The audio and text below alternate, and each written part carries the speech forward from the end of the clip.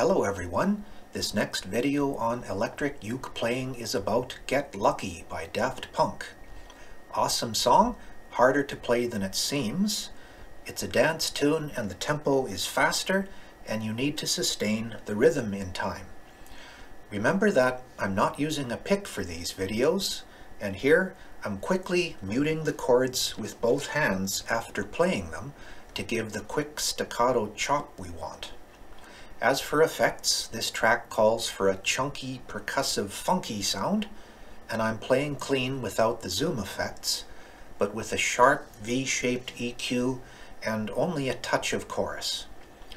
Chorus sounds nice and it's good for covering mistakes, but too much will give us a sustain or legato we don't want in this track.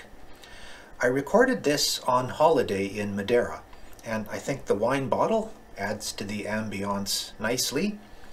Tune your uke, sometimes clean your uke, it will get fingerprints and dust, and let's funk it up with Pharrell and Nile. What keeps the planet spinning? Uh, the force from the beginning.